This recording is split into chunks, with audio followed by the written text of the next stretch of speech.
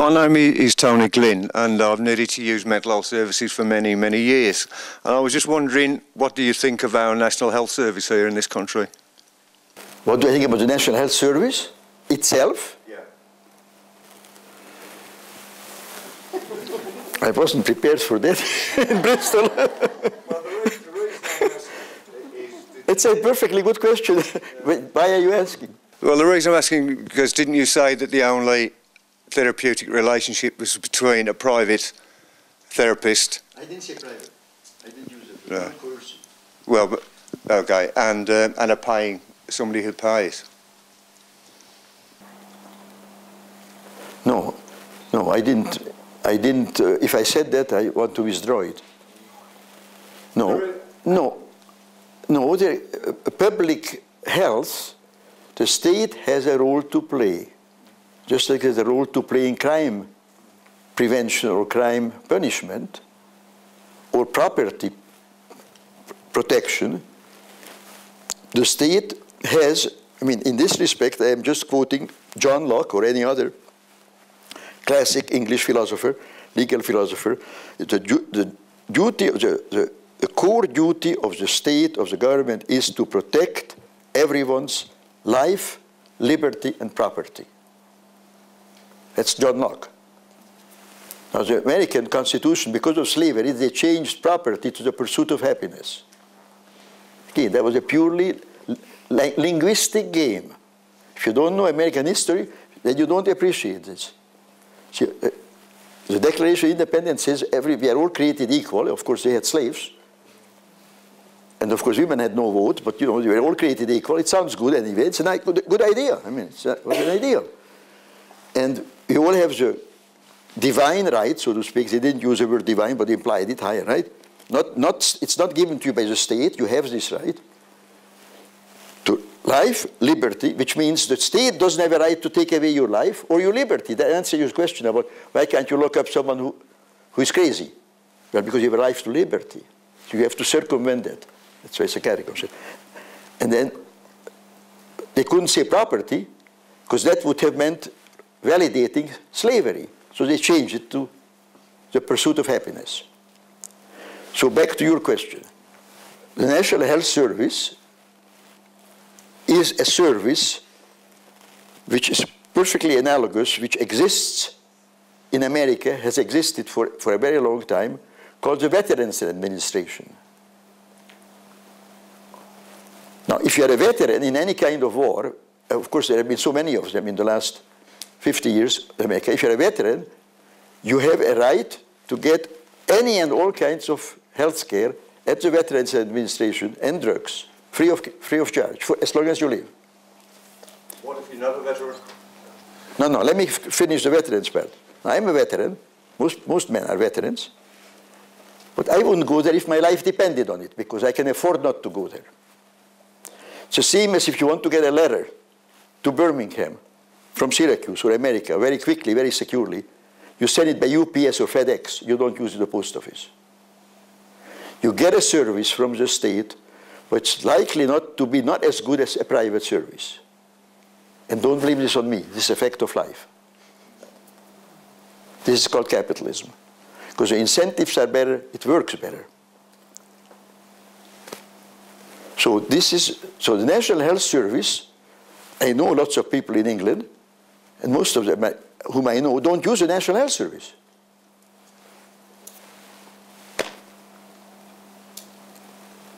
So this again points up the fact that we are unequal.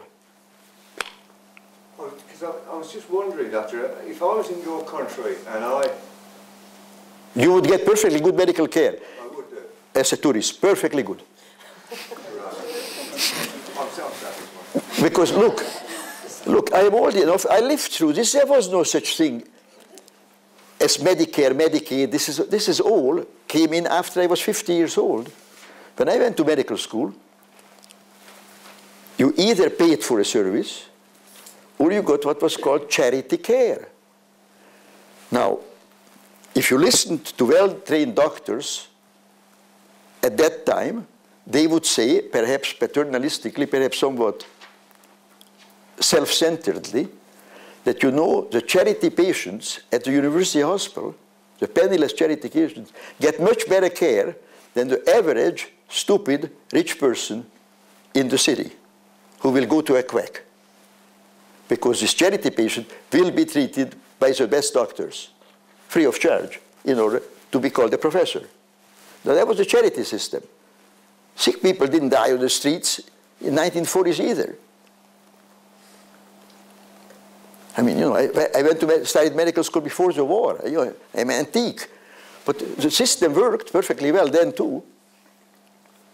And the reason why this essentially nationalized system came into America is just not called that we have a nationalized system, by, by and large, or very, very largely. Certainly, certainly I have one. Anyone over 65 is on Medicare. So that's a nationalized system, except you have a choice to who to go to.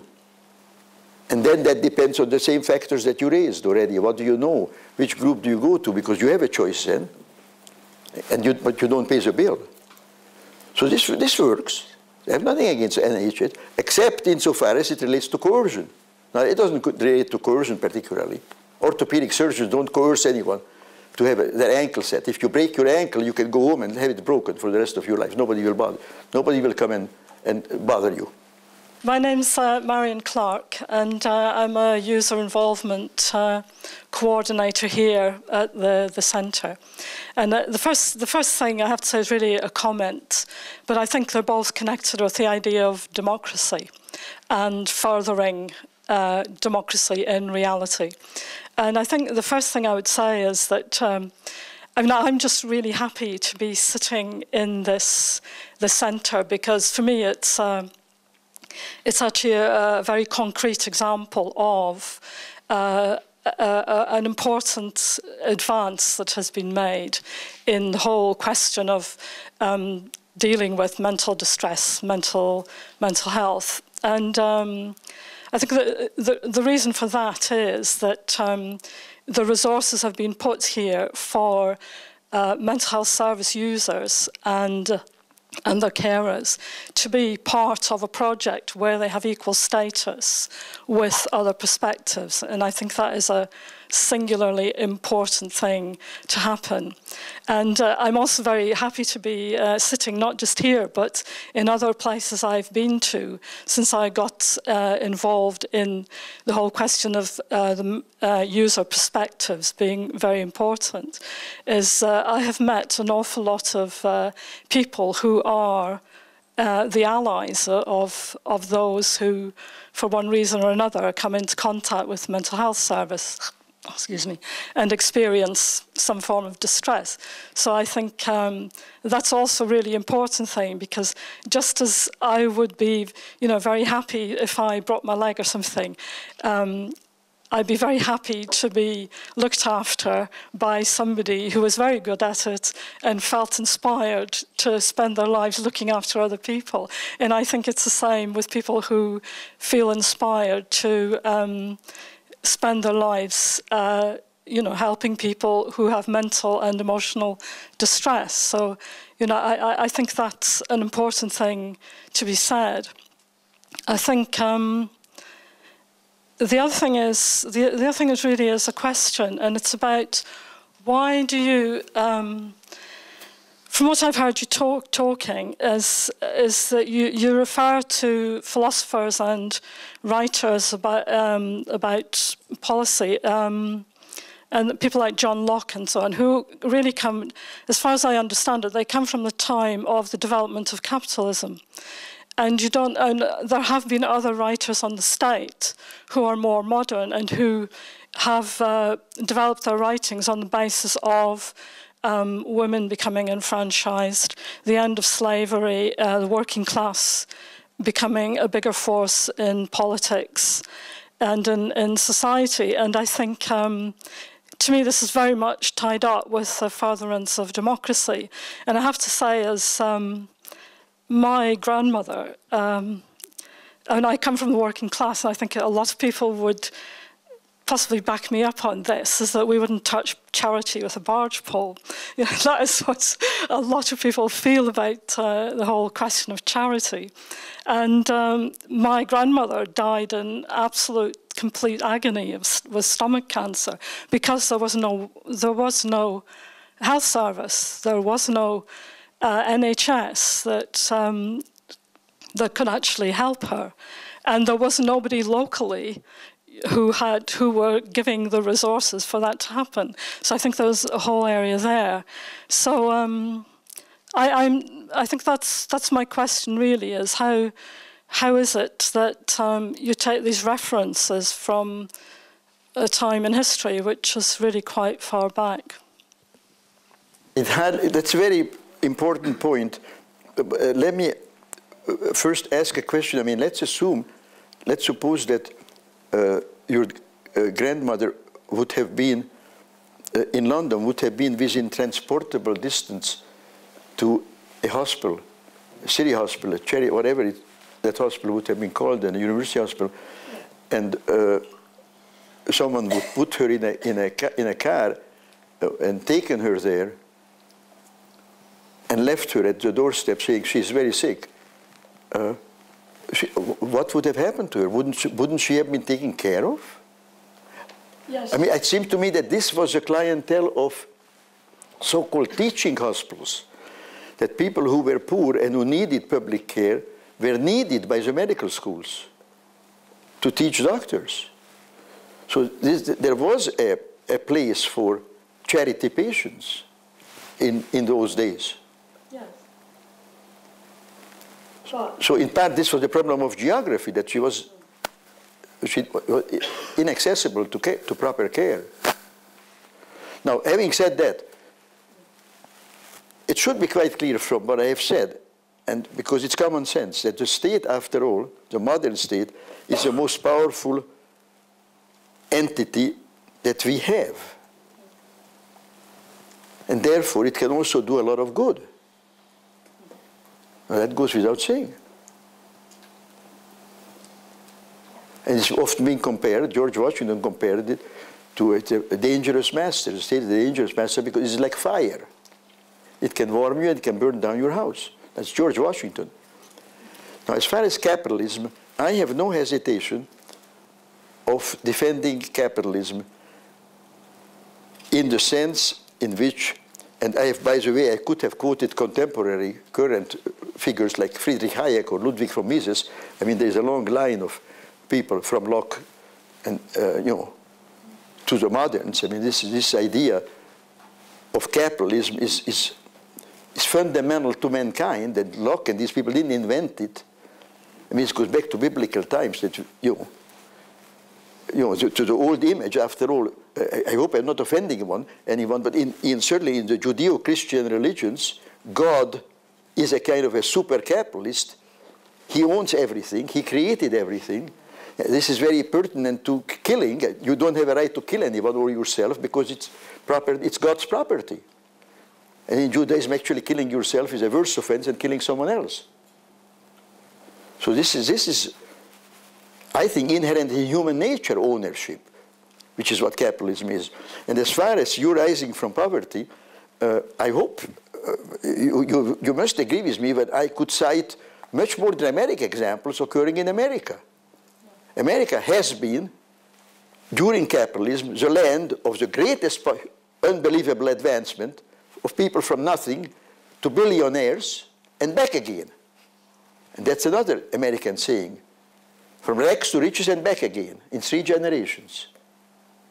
From rags to riches and back again in three generations. That's freedom.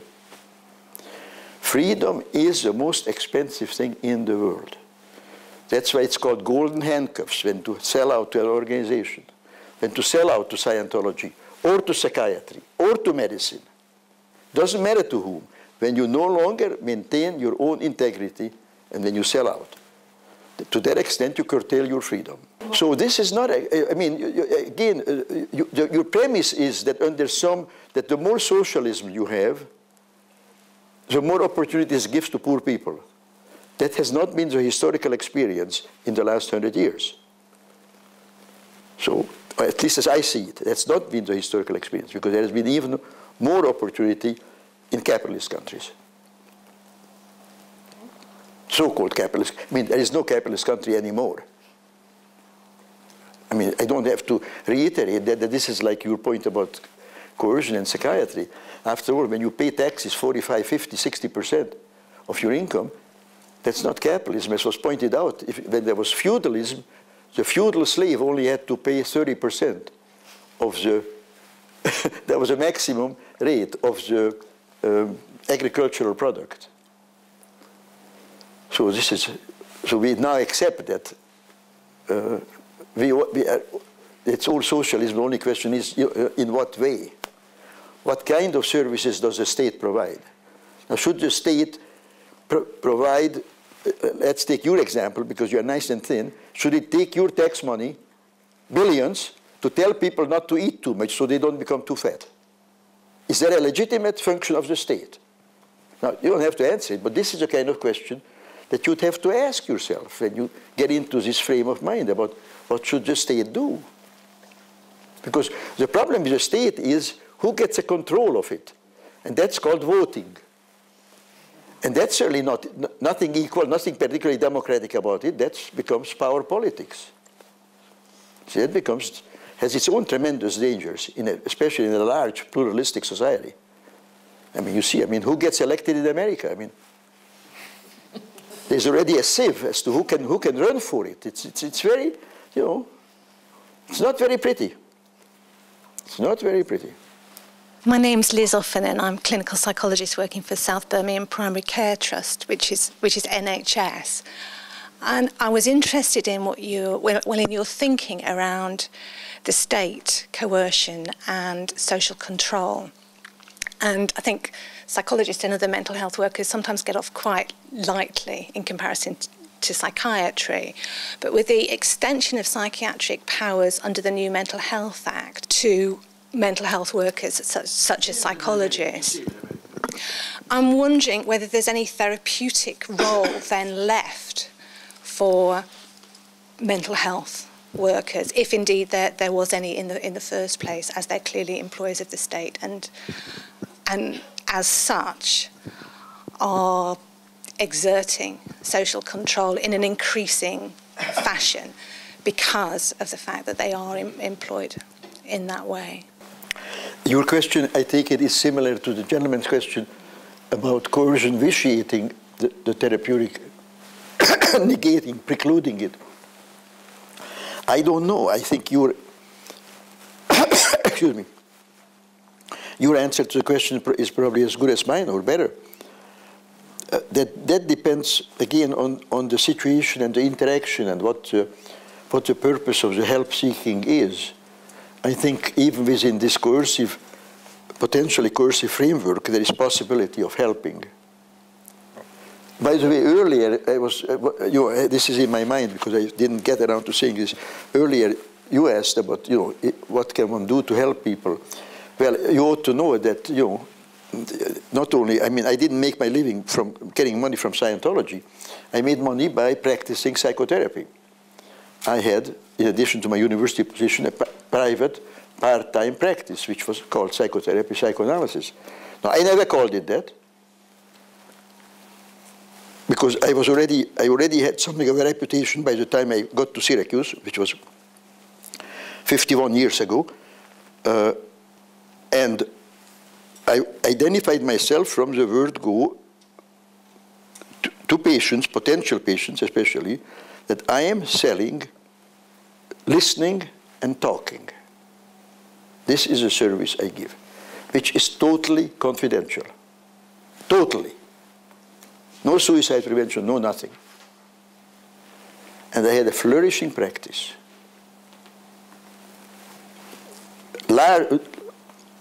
Relatively largely made up of psychiatrists who commuted long distances. Because this is a service which is essentially a religious service, going back, a human service, for which there is an enormous need in modern society because nobody can talk to anybody and nobody listens. Nobody listens because nobody, because this, if you are going to do this, obviously, I needed to make a living too, and you are selling your time. In a way, I always thought of it as high-priced carpentry or, or garage mechanic. And I did whatever the client wanted. You know, what do you fix? Well, depending on whether the muffler is bad or the tires are bad, or something else. I mean, whatever sort of problem the patient had, assuming I could address that problem. It was highly selective because nine cases out of 10, people would come with problems, and very often I did this selection on the telephone, basically, because very often a person would call and says, doctor, I have to see you, I want to see you. And I would on the telephone say, this was typically a man, say, well, Mr. Jones, why do you want to see me? And so the answer might be, because my wife says if I don't see a psychiatrist, she'll divorce me. And I would say, thank you. I would, uh, if that's the case, then I would rather not see you. I hope that makes sense to you. Okay. Now, sometimes the person would say, I understand, but I would like to see you anyway. Then I might see that person one or two sessions, three sessions. And then in the second or third session, he might say, well, would you see my wife too? And I said, well, you, you know, I explained that to you. He says, confident, I, I'm not seeing anybody else. I'll be happy to see you again.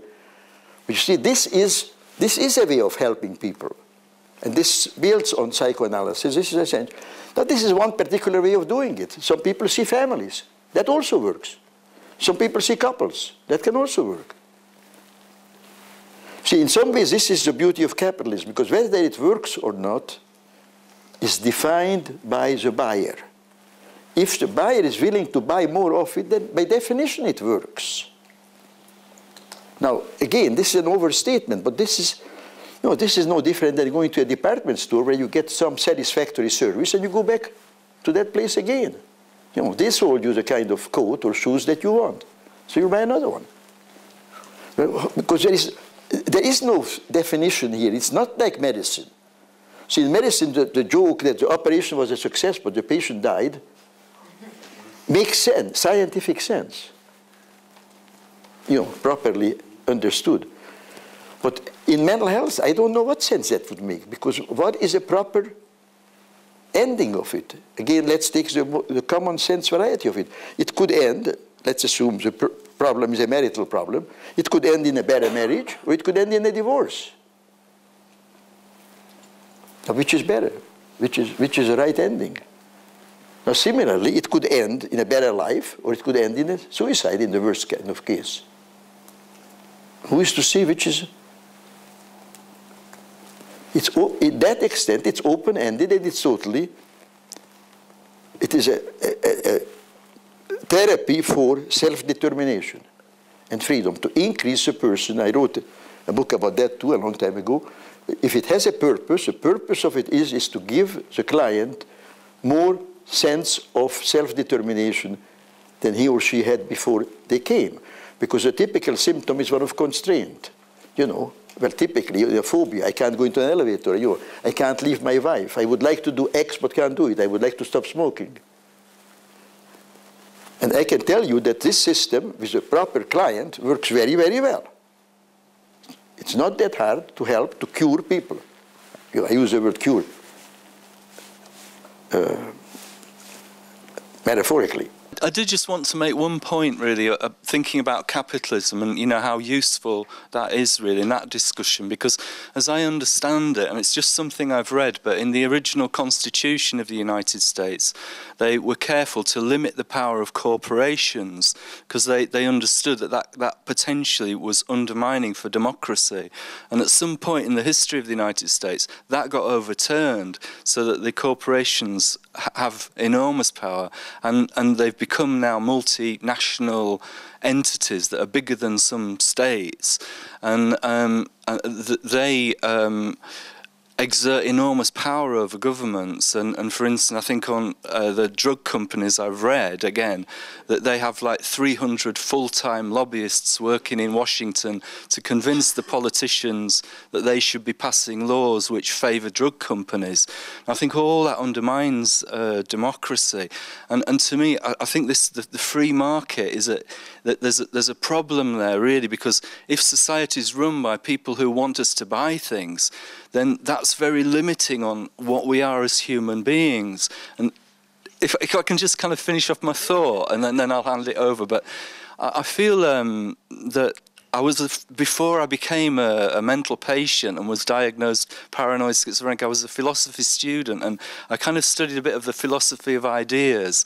And to me, it seems that we're at a very early stage of what it is to be thinking humans, really, what it is to have a mind at all. I don't think we've really grasped it fully, you know, and I think we're, we're very young in that sense. So I feel quite hopeful that you know what the future might hold. But I do think we have to break out of this what what the we're held by in the consumer society. So that was my kind of final thought. Uh, I don't know if you have any comments on that. I have a lot of comments on that, but I'll make it brief. I really didn't come to sell my books, but I have to mention uh, some of them. Uh, because this issue that you bring up is very obvious and is really uppermost in, in many ways in the public discourse and dialogue of newspapers and magazines, and that is the connection between drug companies, their influence, their connection to the government, and generally uh, what was actually a general, a general uh, electric slow, I think General Electric uh, slogan, better living through chemistry, that has become a kind of a, an ironic slogan also, that we take a pill for everything. Now, it's more than 40 years ago that I have been, I mean, it's as though I'm talking to myself when I, when I uh, see and, and hear you. I have been preoccupied by this phenomenon uh, because in a way it goes back to prohibition. This is something very American, although it has spread worldwide, not quite worldwide, but certainly to the Western, Western Europe. We don't live in a democracy. I sort of, let me answer by starting at the end. We say we live in a democracy. No more.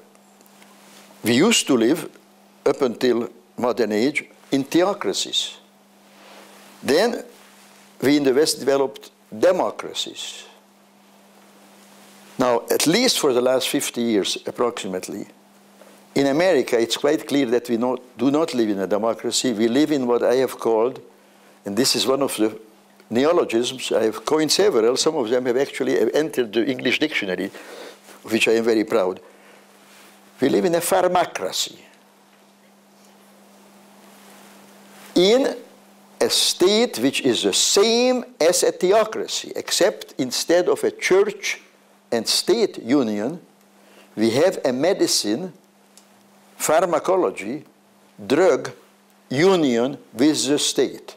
On the one hand, illustrated by the drug pushing by the state, the drugging of children involuntarily, and the war on drugs.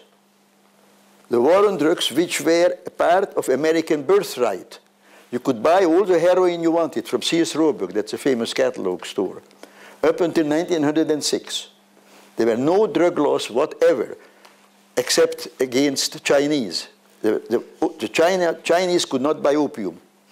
That was the first modern racial and drug and labor law. That, that uh, speaking of socialism, that uh, law was stimulated by what became the American Federation of Labor, or by, by labor union, by early American labor unions.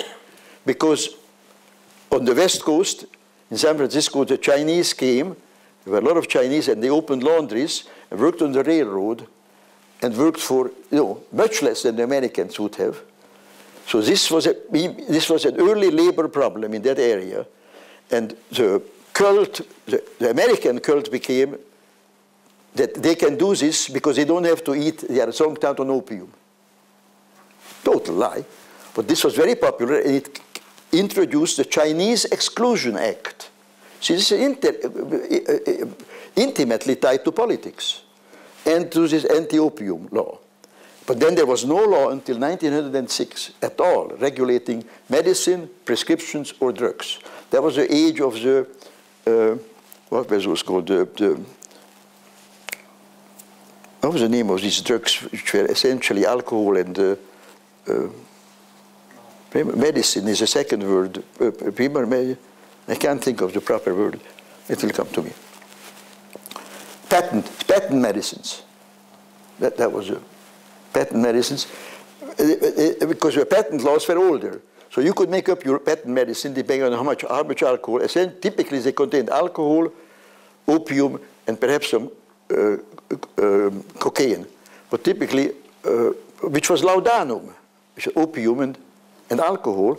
That was a concoction which Thomas Sydenham, the most famous physician in the world then, 17th century, English physician, said if there was no laudanum, doctors should go out of practice because all they can do really is give laudanum, which was this fantastic tranquilizer. Opium is much less harmful, as far as anyone knows. It's been studied for a long time than any of the modern psychiatric drugs. Uh, so what we have is a pharmacracy.